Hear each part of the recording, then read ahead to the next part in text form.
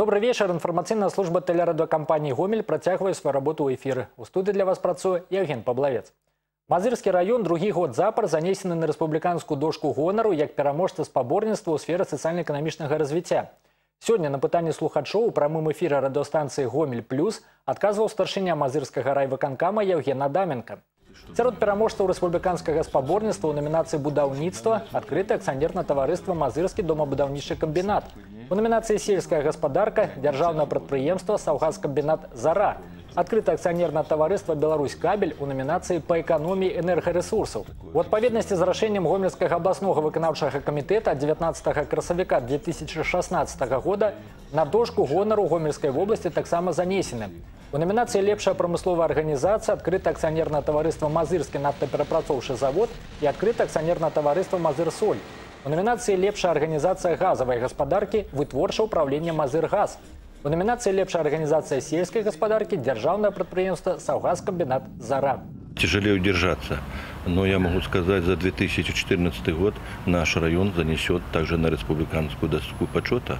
Мы удержали свои позиции и приумножили их. И сегодня самое главное – это работа, это производство продукции. Не ради производства продукции, а самое главное, чтобы эта продукция была качественна и снижение затрат на ее производство. Вот над этими слагаемые работают наши коллективы предприятий. В первую очередь это модернизация предприятий, инновации, инвестиции. И если продукция будет качественна, дешевле стоит, то она будет востребована и в Республике Беларусь, и за ее пределами. Працягваецца сустрэча дэлегатаў пятага ўсебеларускага народнага сходу з працоўнымі калектывамі. Месцам чарговай размовы стала гомельская і рынінская гімназія. З работнікамі установы адукацыі сустрэліся адразу чатыры дэлегаты. Дэпутат палаты прадстаўнікоў нацыянальнага сходу Рэспублікі Беларусь Алена Астапюк, прадпрымальнік Алексей Трацякоў, урач абласной псіхіятрычнай бальніцы Рустам Ляўкоўскі і старшы інспектор новабелецкага аддзела ўнутраных спраў Сергей Жукаў. Як было адзначана на пачатку сустрэчы, кожны беларус павінен ведаць блізкую і далёкую перспектыву развіцця краіны. Менавіта пра гэта ішла размова. Гости агучылі педагогам асноўнае палажэнне чарговай пяцігодкі. У прыватнасці да 2020 года ў нашай краіне плануецца вярнуць рост эканомікі. На 10 процентаў павысіць рэальныя грашовыя даходы грамадзян, знізіць стаўкі па крэдытах да 9-11 процентаў. Таксама ў бягучай пяцігодцы трэба стварыць паўнацэнны электронны ўрад, пашырыць выкарыстанне сучасных тэхналогій у школах. Планируется в этой пятилетке обеспечить беспроводным интернетом все учебные заведения школы Беларуси. И для составления учебников, чтобы лучше воспринимались и решались, учебники должны составляться не академиками, а именно учителями школ.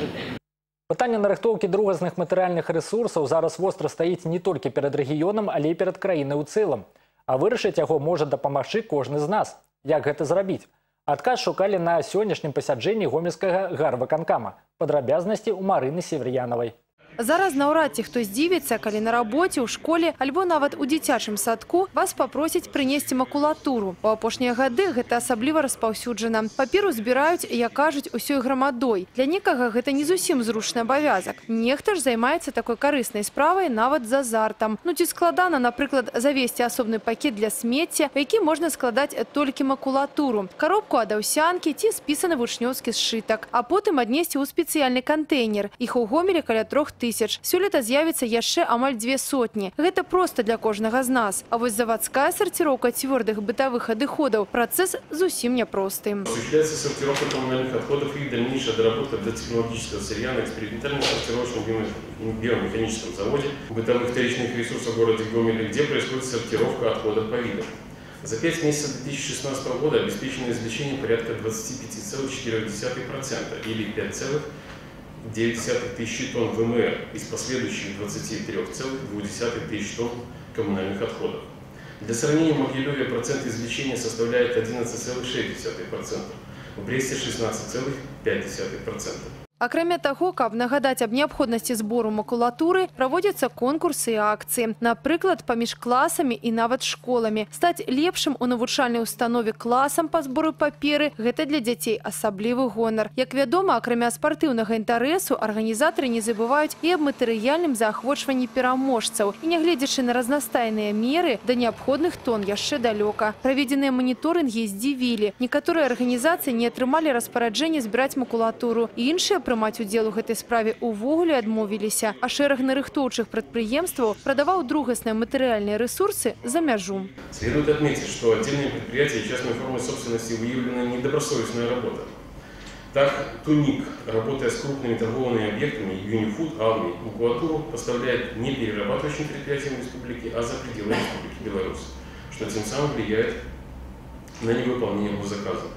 На неоднократное указание ситуация не изменилась. По такой же схеме работала и вторматериалы 1, которые забирали макулатуру у Белвилисден ГИПа. В результате проведенных переговоров на выездном мониторинге Белвилисден расторгли договор с вторматериалой 1 и по результатам тендера заключили договор с ООО «Мусорсорт». Як вядома, папяровая прадукцыя, якая вырабляецца з другасных матэрыяльных рэсурсаў, больш танная і экалагічна чыстая. І не трэба забываць, што пры адказным падыходзе да нарыхтоўкі макулатуры і раздзельнага збору смецця ўсіх нас, ад школьніка да кіраўніка, мы зберажэм самы каштоўны рэсурс Беларусі – нашы лясы. Марына Север'янова, Ігар Марышченка, тэлерадыёкампанія «Гомель». Камітэт дзяржкантролю летам традыцыйна праводзяць праверкі якасці харчавання ў школьных аздараўленчых лагерах. У гэты раз у поле зроку кантралюючага ведомства трапілі дзіцячыя установы гомельскага района. Як показала праверка, у лагерных сталовых прытрымліваліся не ўсіх нормаў. Часам стравы на сталах дзяцей былі лягчэй неабходнага. Частцы кухоннага персаналу не хапала адпаведнай адукацыі і вопыту, і як вынік не заўсёды выконвалася тэхналогія прыгатавання ежы. Наказание прежде всего значит, э, понесут повара, которые допустили недовложение, э, готовые блюда пищевых продуктов. Это административная ответственность. Штраф начинается от 10 базовых. Будут наказаны юридические лица, в подчинении которых находятся э, данные оздоровительные учреждения. Также нами направлены письма в Гомельэнерго и Гомельское отделение Белорусской железной дороги о принятии мер по наведению порядка в этих лагерях. Праца дэпутацкага корпуса гомельшчыны ніколі не абмяжоўвалася толькі заканатворчым працэсам і заўсёды мела выразную сацыяльную накіраванасць. Да дэпутатаў ідуць з маштабнымі прапановамі і сваімі жыццёвымі праблемамі. У выніку вырашэння знаходзяць пытанні як канкрэтных грамадзян, так і цэлых мікрараёнаў. Аб рабоце дэпутатаў на адным прыкладзе раскажа Ганна Ковалёва. Сесть всей семьей за один стол у нас такого понятия нет, потому что места очень мало, и буквально получается, что мы с мужем кушаем в одном месте, половина детей, здесь только трое могут сесть э, за стол здесь, и половина детей кушает в комнате. Дина Шараева показывае сваю невялікую жылплошчу. Васьмярох з дзецьмі і мужам яна жыве ў двухпакаёвай кватэры, да з'яўлення якой жыллё даводзілася здымаць. Тут жа шматдзетная сям'я туліцца апошнія 6 гадоў. У 2014-м Шараевы падалі дакументы на атрыманне льготнага жылля. Праўда, гэтай вясной рух чаргі практычна спыніўся. Зрушыць сітуацыю з месца дапамог дэпутат палаты прадстаўнікоў нацыянальнага сходу Рэспублікі Беларусь пятага склікання, член пастаяннай камісіі па працы і сацыяльных пытаннях Олег Леўшуну. І літаральна праз два месяца шматдзетная семья атрымала доўгачаканы подарунок. Я хочу принести огромную благодарность Левшинову Олегу Федоровичу, его команде. Искренне спасибо. Ну, конечно, уже все. Уже можно с надеждой смотреть в будущее, э, понимать то, что государство является гарантом для многодетных семей. Двух- і трохпакаёвыя кватэры ў гэтых дамах па вуліцы Жамчужнай ўжо чакаюць сваіх новых гаспадароў. Ключы ад жылля шараевы атрымаюць ужо ў жніўні. Дарэчы, людзі, якім у свой час дапамаглі дэпутаты, не заўсёды звяртаюцца за гэтым самі. Часцяком ініцыятыва заходзіць зверху. Так адбылося з асацыяцыяй сем'яў і дзяцей інвалідаў з ДЦП і паталогіямі спіннога мозгу, члены якой не прасілі б дапамозе, але мелі патрэбу ў ёй і нечакана для сябе ўсё ж яе атрымалі. Семья Сорока Никиты получила вертикализатор. Это приспособление для ребенка, который не может самостоятельно стоять. А, семья Кадыш Дарьи получила прогулочную коляску, которая для нее очень важна, так как девочка не передвигается самостоятельно, у нее очень тяжелая четвертая степень поражения здоровья. А благодаря этому мама может вывести ребенка теперь на прогулку. Вырашэнне знаходзіць праблемы не толькі канкрэтных людзей, але і цэлых мікрараёнаў. Так завяршыць будаўніцтва гэтай дзіцячай паліклінікі стала магчымым у самыя кароткія тэрміны. Цяпер медыцынская установа для маленькіх жыхароў 17 мікрараёна Гомеля знаходзіцца ў крокавай даступнасці. Ну, было очень неудобно, потому что мы относились к поликлинике, которая находится на Победе, естественно, вот добираться было не очень удобно, так скажем. Сейчас, конечно, намного лучше. У нас педиатры замечательные, мы очень довольны, нам повезло. Меня э, поддержали э, избиратели, доверили. И я стараюсь оправдывать как депутат Палаты представителей э, то, что давал наказ в своей программе. И мой слоган, он был, он и остается. Слово держу, дело делаю, слышу людей и работаю для людей. Ганна Ковалёва, Яўген Макеенка, тэлерадыокампанія Гомель. Размова з дэпутатам палаты прадстаўнікоў нацыянальнага сходу Рэспублікі Беларусь пятага склікання, членам пастаяннай камісіі па працы і сацыяльных пытаннях Олегам Люшуновым пойдзе заўтра ў праграме дыялог. Праграма выйдзе ў эфір на тэлеканале Беларусь 3 ў 18 гадзін 50 хвілін.